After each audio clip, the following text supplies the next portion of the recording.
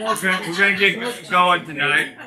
This is the thrilling inclu- conclusion of Ecclesiastes tonight. So we've been we've been at this for 14 weeks. We're gonna wrap it up tonight. But, and let's let's start off with prayer. Great Lord, we praise you tonight. How gracious you are to give us your word, your thoughts, and your mind. Thank you, Father, for what you've revealed to us through your word. We pray, Holy Spirit, that you would illumine our minds tonight to understand your truth.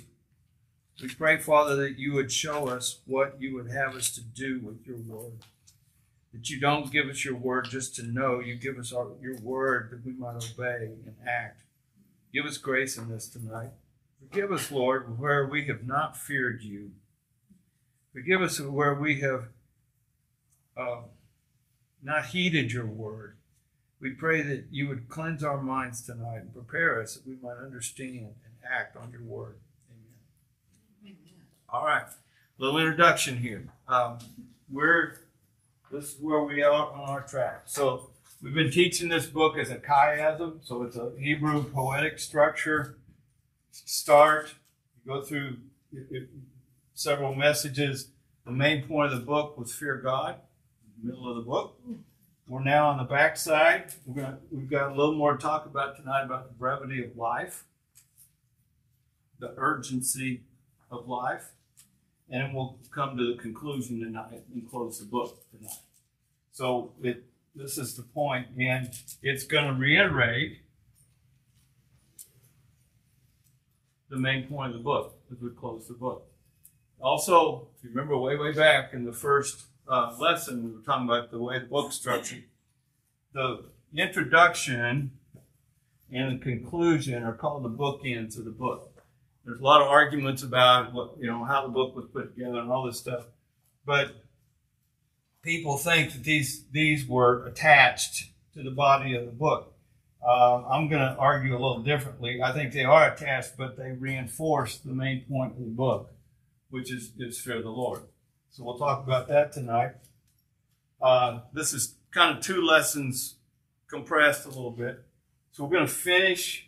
Uh, we'll look at the first part of chapter 12, and I call it You Can't Beat the Clock. We're going to talk about the urgency of life. And then the bottom line is where he takes us to the conclusion as we end the book. And so your homework, as you call, from last week, was to be able to identify the main themes of the book. We're going to kind of go over those again before we leave tonight. The main themes of the book, and then what is your action? As God has spoken to you about His Word in this book, what is your action about this, uh, what you've learned? We're going to do different. So uh, think about that tonight. All right. So we're going to start Ecclesiastes 12. and um, this portion, uh, again, uh, verses 1 to 8, I'm not going to spend a lot of time on it. It's probably one of the most familiar parts of Ecclesiastes. You've, heard this many times, and people have preached on it. And it's a poem about aging. And, uh, you know, our themes that we've been going along here your time on this earth under the sun is short. Death is certain. And nobody cheats the clock. Nobody gets a pass. And so we're going to talk about aging tonight. And there's this is basically a poem about aging and the urgency to live life to the fullest. We've been talking about enjoying life. And it also is pointing us to look beyond death. It's making us think beyond death. So let's read this. Uh, chapter 12, 1 through 8. Remember also your Creator in the days of your youth, before the evil days come and the years draw near, when you will say, I have no delight in them. Before the sun, the light, and the moon, the stars are darkened, and clouds return after the rain. In the day that the watchmen of the house tremble, and mighty men stoop. The grinding ones stand idle because they are few. Those who look through windows grow dim. And the doors on the street are shut as the sound of the grinding mill is low. And one will arise at the sound of the bird, and all the daughters of song will sing softly. Furthermore, men are afraid of a high place and of terrors on the road.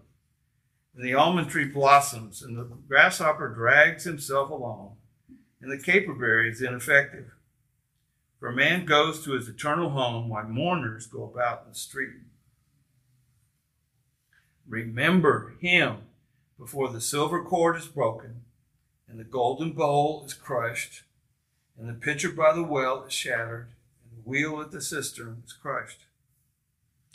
Then the earth will return to the earth as it was, and the spirit will return to God who gave it. Vanity of vanities, says the preacher. All is vanity. Um, key word here in this passage is remember.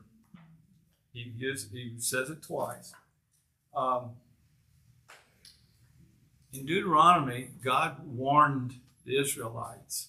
He said, "When you're you're going to I'm going to take you into the promised land." And over and over again in Deuteronomy, he says, "Remember." So when times are good and life is going good, you remember that I'm your God and I'm the one who put you here and I'm the one who enabled you to have what you have. Let's let's look at that real quick. It's Deuteronomy 8 and I'm going to I'm going to refer uh, back to it once or twice. And I've also given you a reference for Jeremiah 3:16. Jeremiah is a call on Israel to remember God. It's a call for them to look to go back to obedience to the law. And over and over again in Jeremiah, he says, Remember, remember, remember. And he's calling them back to Deuteronomy. He's making this reference to Deuteronomy 8. Um, of Deuteronomy 8 1. All the commandments I am commanding you today, you shall be careful to do, that you may live and multiply and go in and possess the land which the Lord swore to give to your forefathers. Verse 2 And you shall remember all the way which the Lord your God has led you in the wilderness these 40 years, that he might humble you, testing you to know what was in your heart, whether you would keep his commandments or not.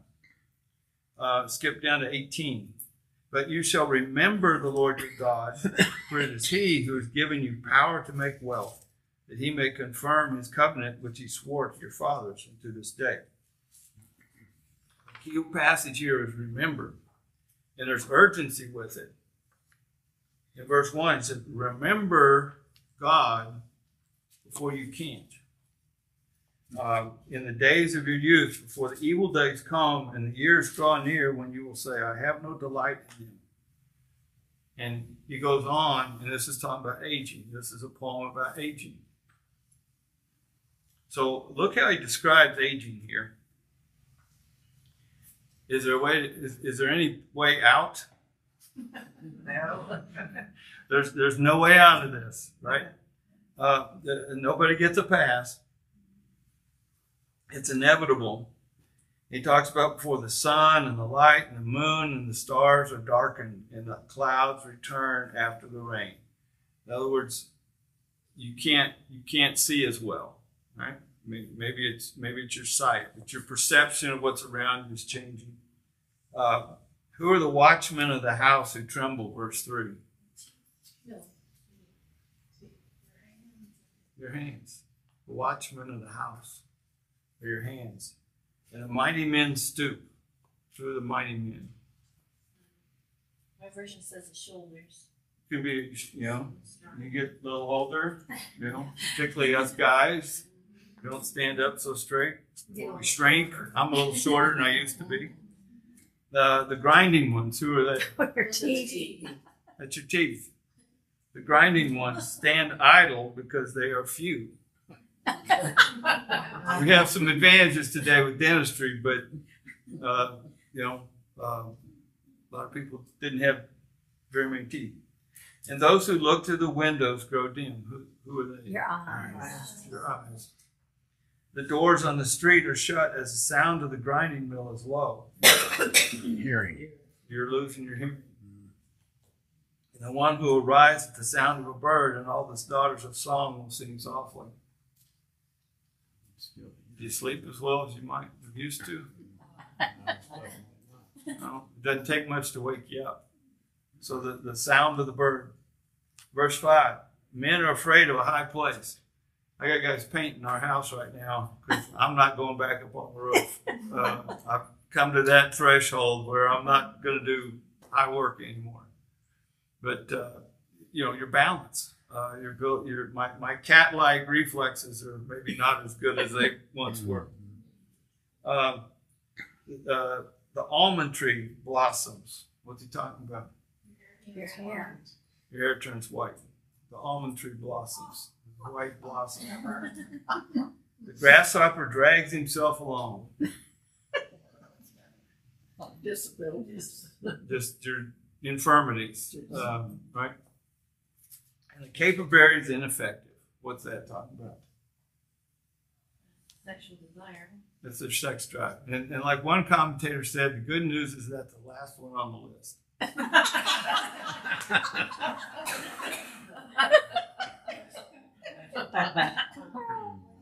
So he says, For the man goes to his eternal home while mourners go about his funeral.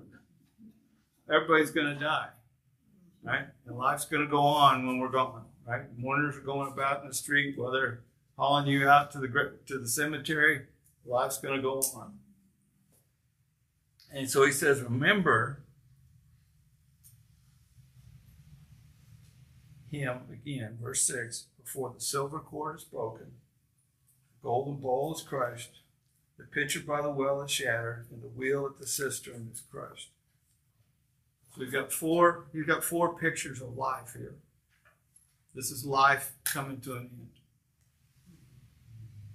The silver bowl, the cord is broken, the golden bowl is crushed, the pitcher by the well is shattered, the wheel at the cistern is crushed.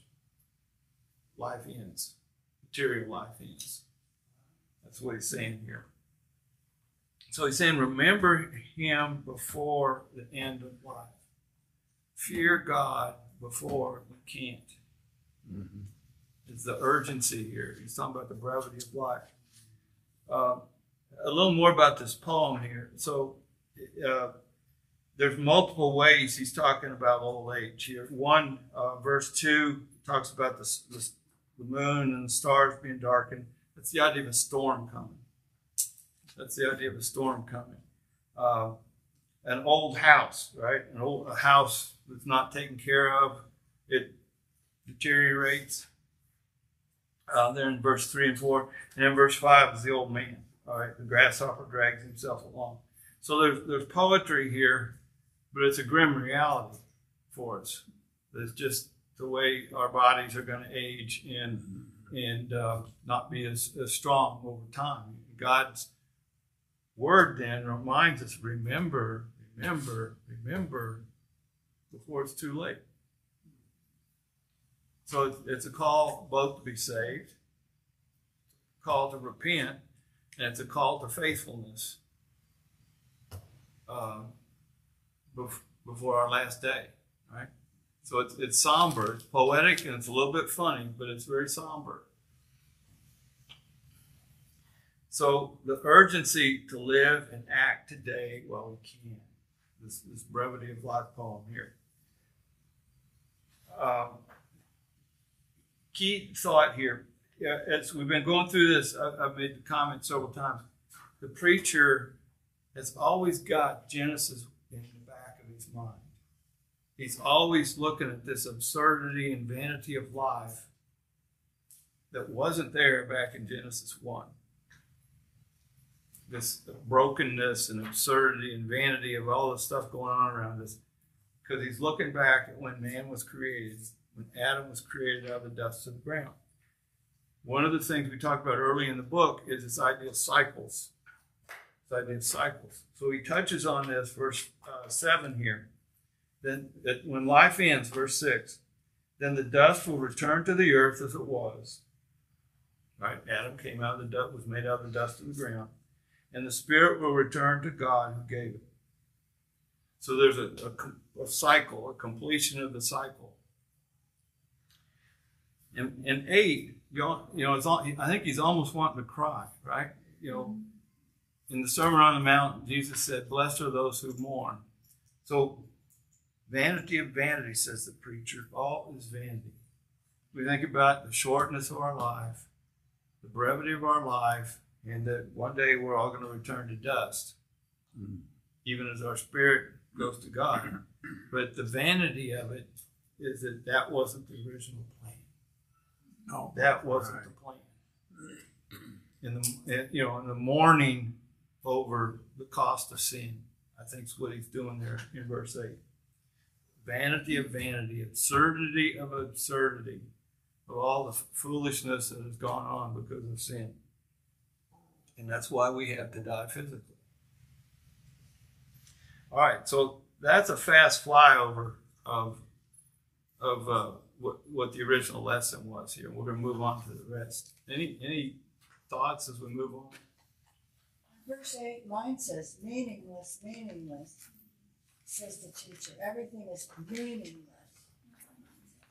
Well, Yeah, we talked we talked about this word. Uh, you may not have been here the first lesson. We talked about this word can be interpreted multiple ways: uh, meaningless, vain, absurd. Here's life, and life has to come to an end, and our bodies return to the dust. And that wasn't the way God planned it from the original. I think that's that's the, the meaninglessness of it, the cost of sin. Anybody else? Uh, I'm sure your other versions probably have used different words. Okay.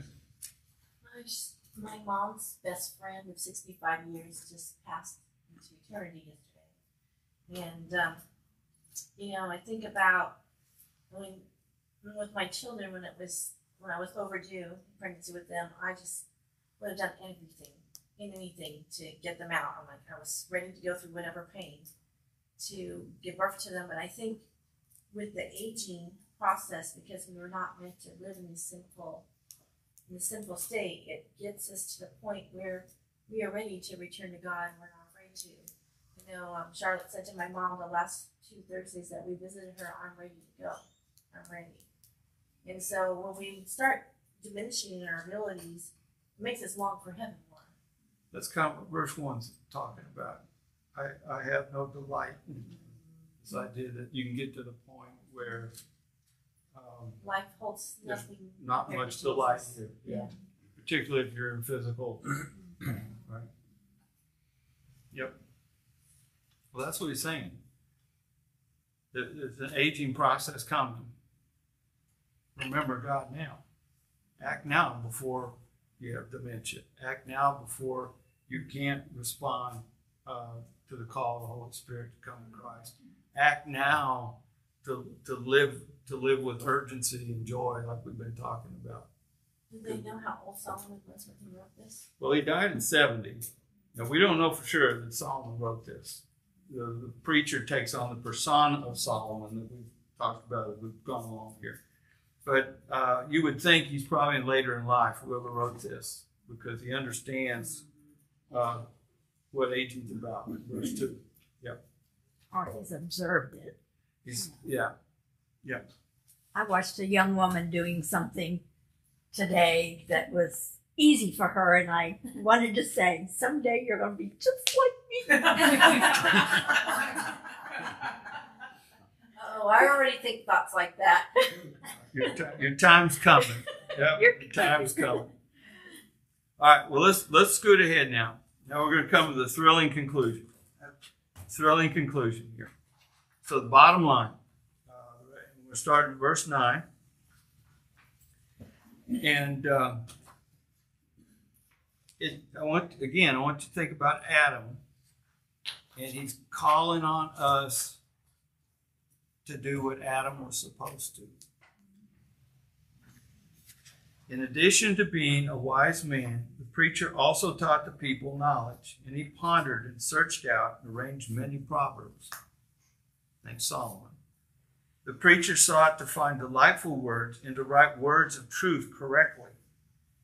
The words of wise men are like goads, sharp pointed sticks, and masters of these collections are like well driven nails. They are given by one shepherd.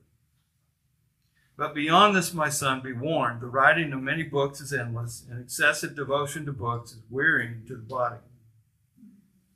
The conclusion, verse 13 when all has been heard, is fear God and keep his commandments, because this applies to every person. Verse 14 For God will bring every act to judgment, everything which is hidden, whether it is good or evil. All right, so one of the, one of the reasons the Ecclesiastes was accepted in the canon so quickly was this admonition here uh, to fear God, because it it reinforced the main message of the Torah, the main message of, back that we saw back in Deuteronomy of the of the, of the, of the Pentateuch, to fear, live in the fear of the Lord. So um, back in verse nine now. So in addition, notice how he's changing his tone. I, I told you that this book has a lot of different genres in it. And that's part of the confusion of how to interpret it. He's going to shift now to the third person. Okay? In addition to being a wise man, the preacher, apparently talking about himself, this is where some of the arguments come that this is a different voice, a different author now that, appended the, the, the book.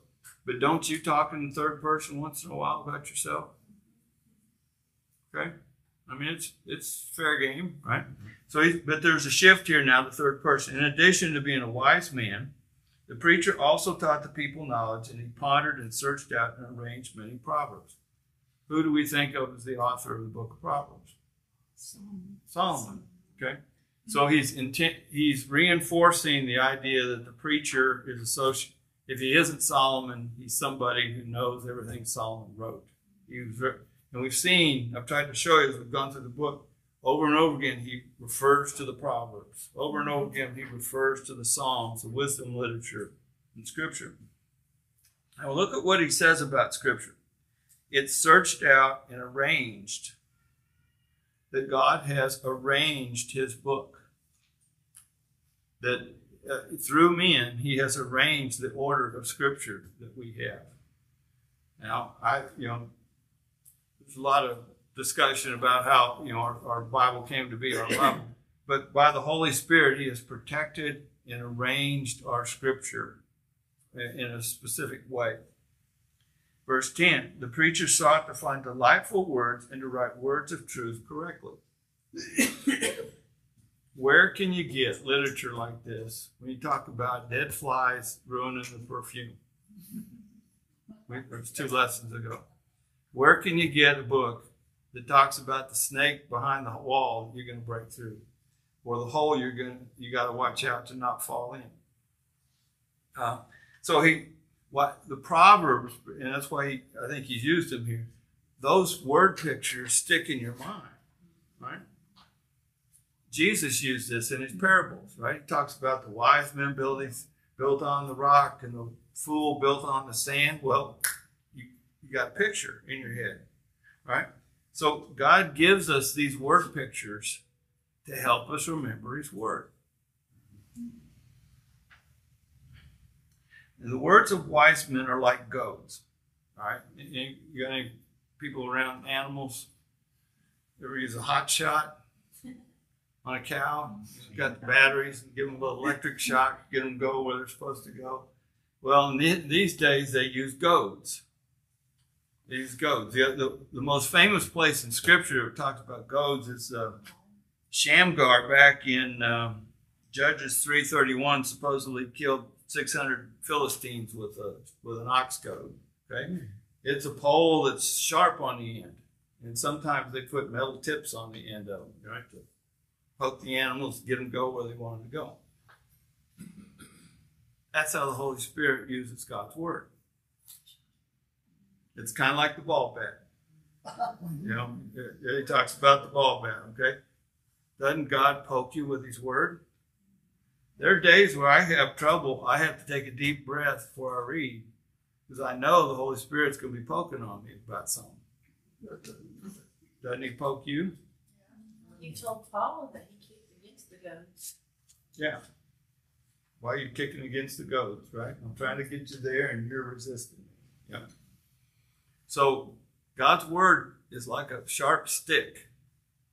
And thank you, Holy Spirit, that He pokes us, right? Hopefully not an eye. Amen? Hopefully not an eye. Yeah, yeah, yeah.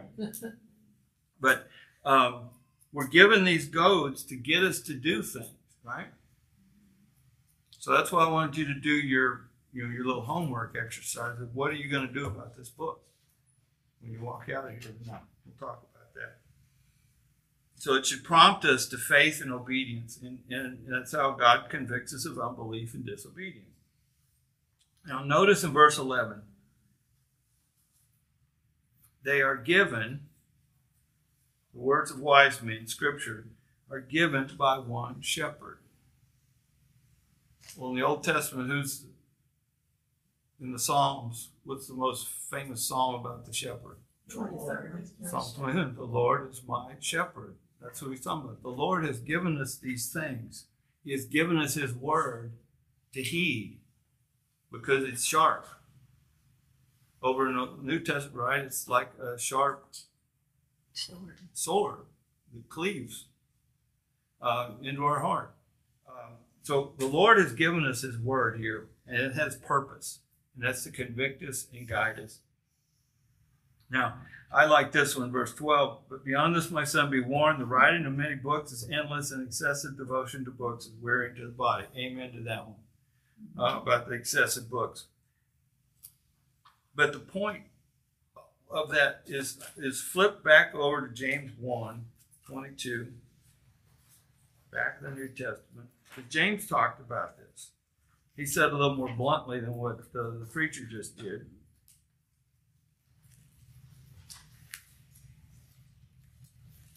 But prove your, uh, let's see, I'm going to start 22. But prove yourselves doers of the word and not merely hearers who delude themselves. For if anyone's a hearer of the word and not a doer, he's like a man who looks at his natural face in a mirror. For once he's looked at himself and gone away, he has immediately forgotten what kind of person he was. But one who looks intently at the perfect law, which we've been doing for 14 weeks, the law of liberty, and abides by it, not having become a forgetful hearer, he just told us twice tonight to remember but an effectual doer, this man shall be blessed in what he does. So at the end of the book, he's saying, you know, hope you enjoyed reading the book, but you've got to act on this book. This book wasn't given to you just for your curiosity. It's God giving you a poke.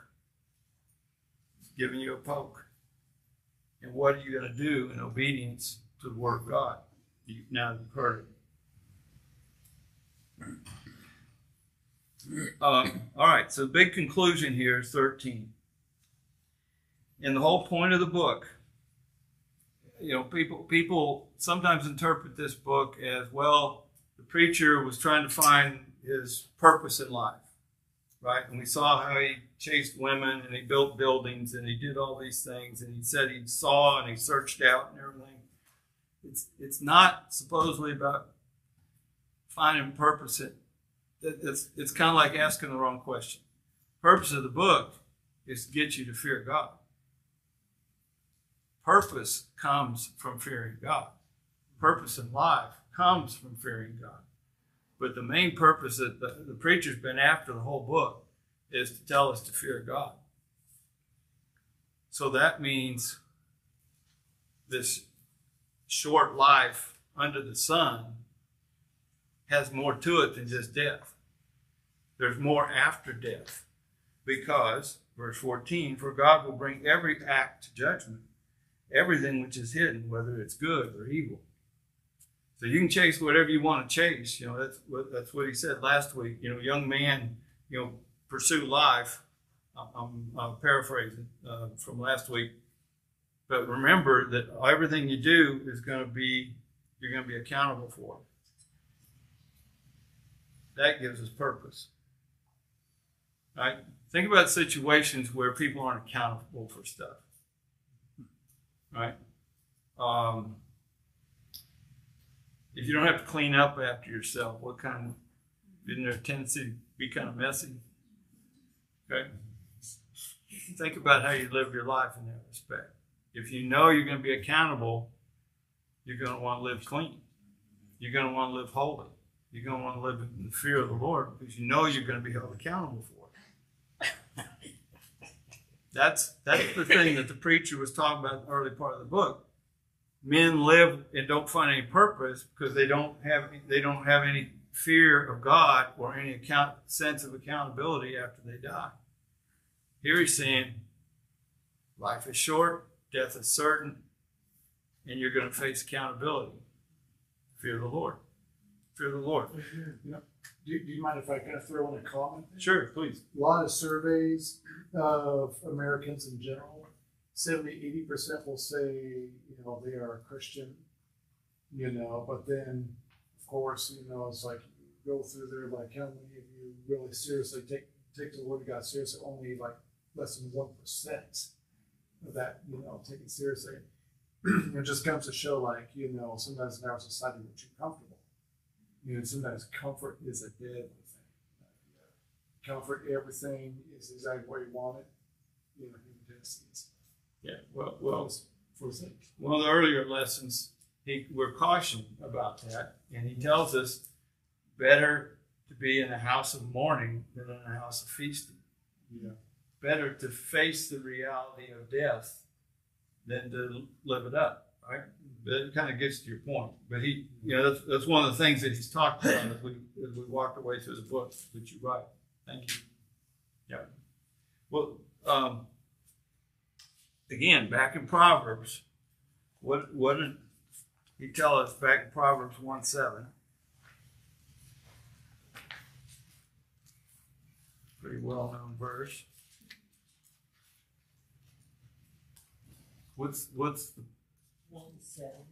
Proverbs one seven? Anybody got that one? Fear, the fear of the Lord is the foundation of true knowledge, but fools despise wisdom and discipline. Okay.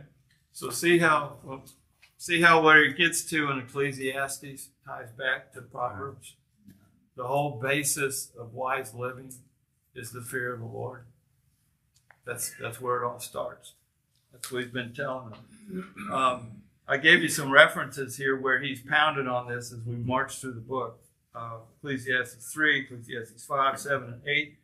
Uh, also, um, again, I want to tie you back to Deuteronomy, where's it at? 10. And we know this scripture from the New Testament most of the time. It's back in the Old Testament too. Deuteronomy 10 12. There we go. And now, Israel, what does the Lord your God require from you but to fear the Lord?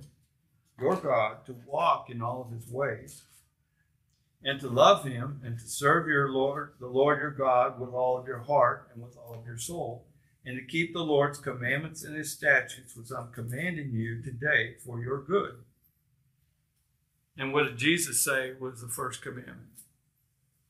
Love your Lord your God with your heart, soul, and mind and strength. And then the second one is to love your neighbor as yourself. So it all, this whole point of fearing the Lord, it ties back to Deuteronomy. It connects with the, the, the commands of Jesus in the New Testament here. Um, so the idea here is live in light of God's future judgment. Um, there's no testing out.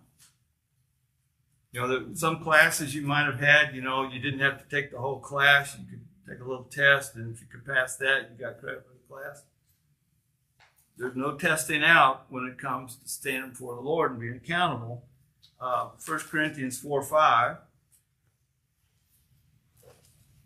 And, and Solomon, has, or the preacher, has talked about this over and over again that everything he's talked about applies to all men, to everybody. Uh, 1 Corinthians 4 5. Therefore, do not go on passing judgment before the time, but wait until the Lord comes, who will both bring to light the things hidden in the darkness and disclose the motives of men's hearts. Then each man's praise will come to him from the Lord. In other words, everybody's everybody's going to be accountable. Is the point? Nobody gets to opt out. Nobody escapes. Uh, nothing's hidden. Complete knowledge, and only God can do that because He has complete knowledge. Second Corinthians five ten, kind of the same idea. Get there. And uh, Revelation uh, twenty, of course, also. But uh, 2 Corinthians 5.10, for we must all appear before the judgment seat of Christ, for that each one may be recompensed for his deeds in the body, whether to what he has done, whether good or bad. And then uh, giving you the reference here in Revelation 20, and that's where everybody stands before the Lord, and God, the books are opened that it talks about. So, and Solomon's talked about this that every deed counts. Every deed counts. So faithfulness in little things. And he, he's talked about judgment, but remember, judgment is not just discipline, it's rewards. You know, and that's one of the emphasis in the New Testament. You're going to be rewarded for acts of faithfulness. You're going to be rewarded for faithfulness. And we, we talked about it last week, the parable of the talents, right? The, the, the stewards who were good with the talents that God gave them and invested it, they were rewarded for it. So when he says, Fear the Lord, every act will be brought to judgment, remember that includes rewards. It's not just, that's not simply punishment, it's rewards also. Faithfulness in little things. So that's how he ends the book. That's that's where we've gotten to here. You know, this was the big message in the middle of the book. He's talked about it. He's gotten more practical as we got to the end of the book, and he punches it again here and tells us the main thing I want you to know walking away from all this, this whole exploration of, of, of this world, absurd world under the sun, is fear of the Lord. We're going to be accountable after death. So here's your test. Here's your test section now. So what are the themes of the book? What were the themes of the book as we march through this? I've given you a little chart to help you. Our cheat sheet right This is your cheat sheet. We sheet. got it out. I, I gave you this in week one. Thought I'd bring you back to it. Okay. And it is. Okay. Futility of life. Yeah, so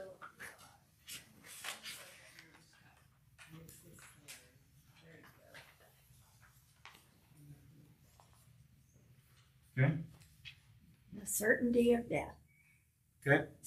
Nobody escapes.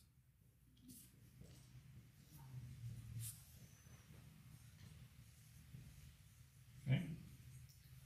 Life is uncertain. And manage risks. Um, uh, that was part of that. I thought that was good. Yeah. Know the seasons. It's part of wisdom. Part of God's wisdom is know the seasons and be able to apply wisdom in the seasons. So manage risk. Okay. What else? Enjoy your life. Okay. Today. Be content. The good times roll. Let the, let the good times roll. There you go. There you go, Where's Sadie. Paul? Paul isn't here tonight. He's our party guy.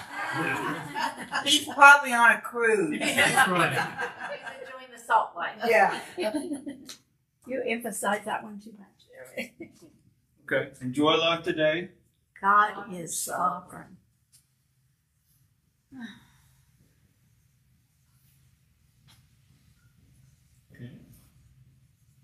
And one of the things I just want to throw this little nugget in that we talked about that includes seize the moment, right? Seize the opportunities that God puts in front of you.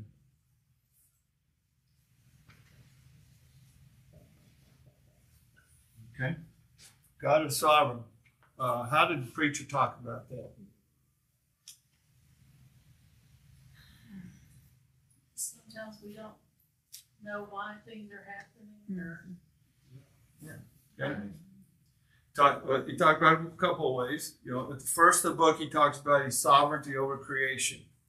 Creation is doing its thing. It has these cycles that God has established. He's, he's sovereign over the times and the seasons. There's a time to be born. There's a time to die. There's a time to weep. There's a time to Right. laugh. And he's sovereign over, over justice, right? I see the righteous man dying young, and I see the uh, the evil man dying old. God is sovereign over this. And that I can't, we can't see how God's going to use these things in the future, and we don't know how God used things in the past for now. so all, all that was part of, of God's sovereignty. Another section, uh, I wasn't going to take it enough. Read Romans 9. There's a passage in Romans 9 that talks about God's sovereignty to say who he's going to raise up and who he's going to put down. Anything else? Any other big themes that you took away from the book? I'm missing one. Fear God. Fear God. That goes over the top here. Yeah. Another one. We will be judged. Uh, okay. Uh, judgment. Okay. And maybe we we kind of talked about it here, but life is short, right? Something about balance. Yeah. Uh, that kind of goes with this one, is this idea of keeping balance. He talked about how the race doesn't necessarily go to the swiftest. The, the, the guy who works all the hours isn't necessarily going to get the promotion. And he talked about keeping balance in life. Uh, um, I have to go back and look exactly where that is at. Probably about chapter eight, thereabouts, somewhere in there. Anything else you took away from the book? I had pleasure here is temporal and incomplete. Okay. Remember that. Okay.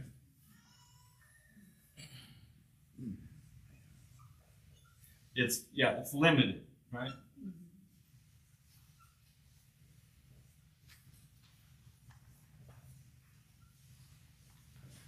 You go one time on a trip and you think, well, you can go back and it's only just as great, but it never is. Right. Yeah, yeah, yeah. The restaurant you went to and had a uh-huh. great meal, and you go back and it's not.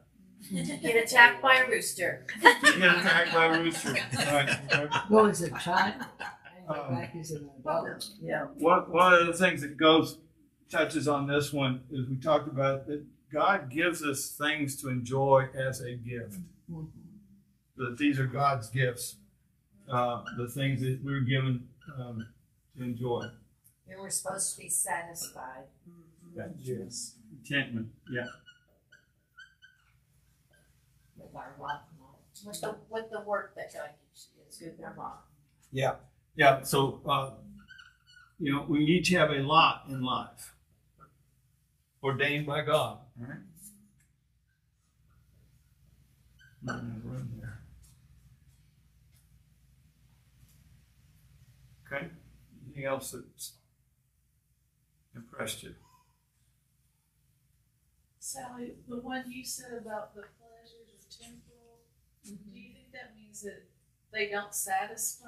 I mean, that they, They're incomplete. yeah, Yeah, like you're never satisfied. Yeah.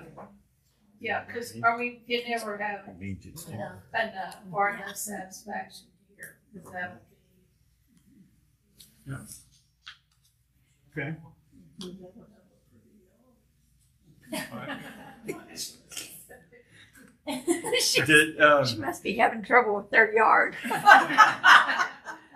anybody want to share what their action, you know, what did God poke you with? What's your action item for what, out of this study of Ecclesiastes? What are you going to do about it? What do you want to share that. Well, I'm usually a pretty quiet person.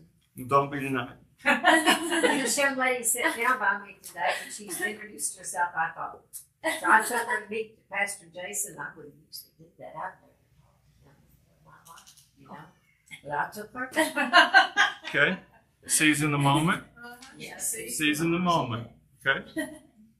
Okay? Anybody else? Things that God's impressed you with to do. Be generous. Be generous. That's that's been on my mind this whole uh, spring. Uh, is being more, learning to be more generous, and, and maybe more spontaneous, more urgent. Uh, thank you. enjoy every day to Yeah. the fullest because we don't know what tomorrow may. Yep. Tomorrow. But enjoy. Enjoy every day to the fullest. Yep. It's the little things in life that bring you the most pleasure. Just little things. A kindness or And, and something being like content w- Yes. with the little things. You know, kind word. You know, we talked talked. He talked about controlling your your mouth, controlling your tongue, right? So being using it generously, if you will. I think for me, uh, uh, meditating and diving into the sovereignty of God, you know, because it just it's very enriching. Uh, you know, I think for me to, to study scriptures that talk about God's sovereignty, uh, because you know, I mean, it's like the the changes that happened in my life as of late, the last year and a half, been pretty mess. You know, so it's like God's in control. Okay. Yeah, very good. I think only what's done for Christ will last. You know, we're, I don't feel like fear God. I'm, you know, I don't think I've ever feared him. I don't know why. Not like Frank. Not front, but Awe. it needs to be in awe or like reverence. Respect. Why didn't they say be in Well, you have to read it in. To rev- to reverence God, right? To reverence God, right? Yeah. To take You fear your daddy? You respect your daddy? I respect your daddy. That, that, kind- that kind of fear. I both feared and respected. Sally Mac. Um, I, I have just been convicted to finish well. Yes. That Finish time is well. Short, especially as you age. Um, yeah, that not to ever quit or stop or retire, but that every every bit of your life counts, and it's important to finish well. She just blew my bubble. That was yours, Marion? Uh, No, I want to quit. I want to. You're never gonna quit. You're I, I she's wrote- full. I pray, I'm prayerfully praying that God will mature me as a Christian. And in the uncertainty of life, I will grow and move from uncertainty and move from that to uh, by grooming, by growing in uh, assurance and conviction, and know that God is in control. And they I'm gonna have uncertainties every day in my life because we live in this fallen world. But we have to know, and as Sally said, when you get to our age, you look back and you think, Lord, that's you know, I've wasted a lot of my life. I want to finish strong for Him, and uh, that's that's all we can all at this age, I think, and be attuned to what God would have us to do, and do it, And act. And act. Leave a legacy, and But- leave a legacy. Put your put your bread on the waters. Take action. You know, you know, the pastor kind of touched on that tonight. You know, if you read this book at face value, right, you just want to go up on a building and jump off, right? the world is vain. Everything is vain. There's no righteousness. There's injustice everywhere. There's oppression everywhere. And the pastor talked about this tonight. This idea of God's people being living in faith. So it hmm. said this book's a call to faith. Living in faith that God's sovereign and God is in control of what's going on. Even when five minutes on the news will tell you it, it doesn't look that way, right? Mm-hmm. But God's people acting in faith with these principles, fearing God and living with pleasure and living with contentment in the middle of, of a, crazy world under the sun. Right? That's kind of the upshot of the book. And with the help of my lovely assistant, we wanted to help you guys enjoy life a little bit. So we thought some chocolate was in order.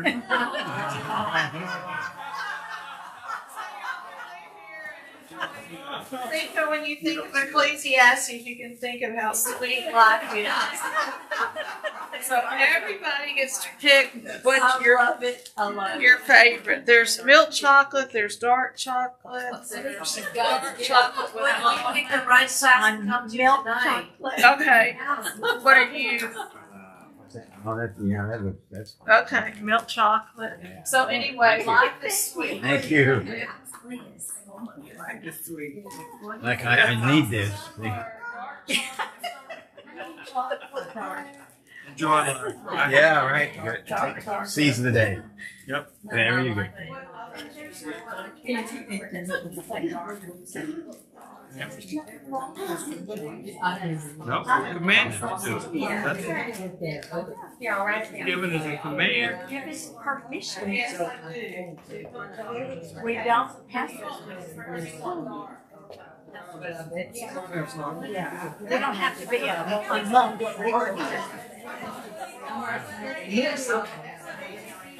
Thank you all for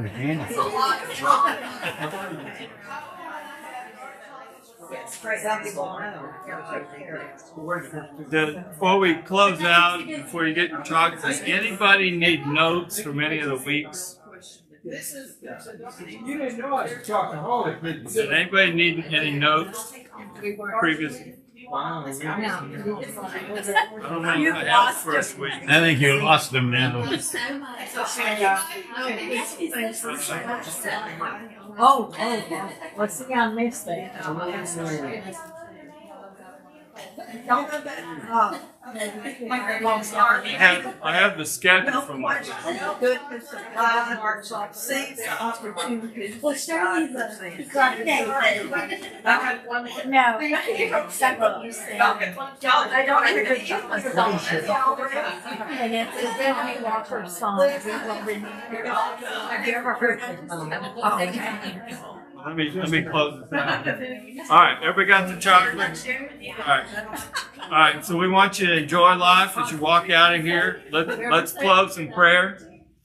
We'll, we'll close with a, a word of prayer. Great Lord, we praise you for your word tonight. How good you are.